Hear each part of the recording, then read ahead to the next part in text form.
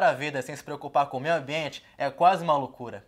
E ainda bem que os profissionais da atualidade estão muito mais conscientes sobre isso do que algumas décadas. É verdade, Alex. Considerada uma profissão do futuro, hoje você vai conhecer um pouco mais sobre a engenharia ambiental.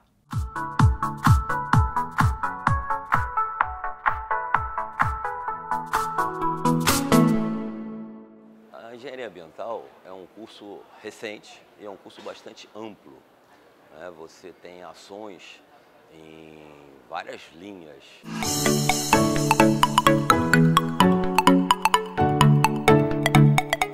Biologia, cálculo e física são algumas das matérias que o estudante vai encontrar durante a graduação. Mas se engana quem acha que só basta ser bom nisso. Ser social e capaz de criar soluções para problemas ambientais também faz parte do perfil de quem pretende seguir a carreira.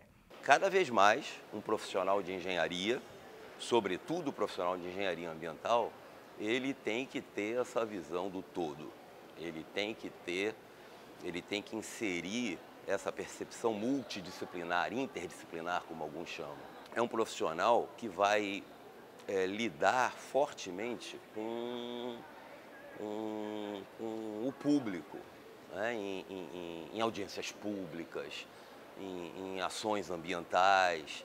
Então, uma característica, uma característica que eu acho bastante importante para o engenheiro ambiental é a, a sociabilidade, né? a, a, o poder de negociação.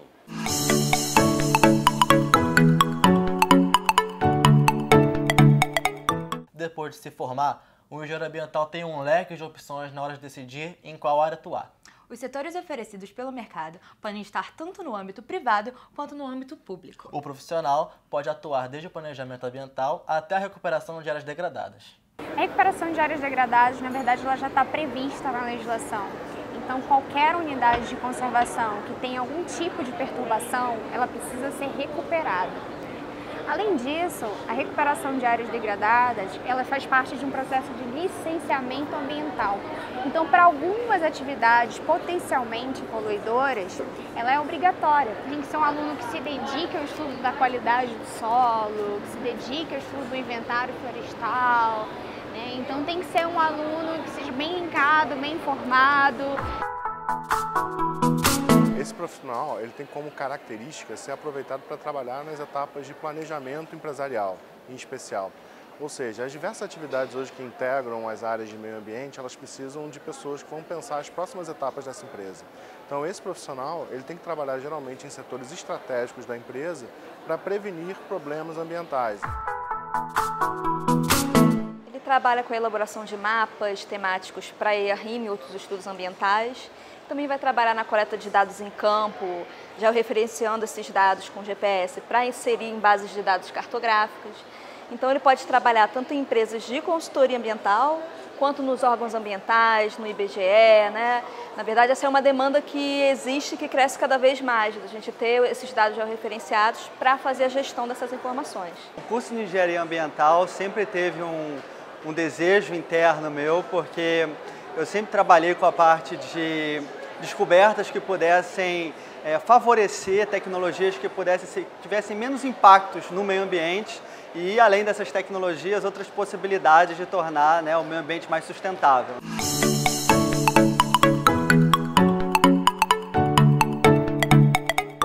Segundo o Sindicato dos Engenheiros do Estado do Rio de Janeiro, a remuneração pode variar de acordo com os honorários e o nível de experiência profissional. A média para um trainee é de R$ 180,83 a hora. Para um profissional júnior é de R$ 191,54 a hora. Profissionais pleno ganham em média R$ 287,41 a hora. Sênior, R$ 414,71 e Master, R$ 515,56.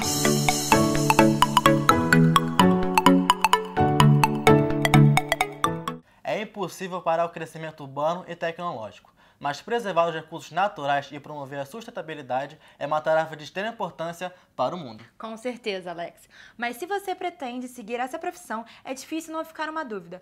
Como está o mercado de trabalho? A gente tem que analisar a coisa, como os economistas falam, né, de forma estru estrutural ou conjuntural, né, ou seja, no longo ou no curto prazo. No curto prazo, é óbvio que estamos passando uma recessão no país, e que quando uh, a parte econômica está tá enfrentando problemas, a parte social e ambiental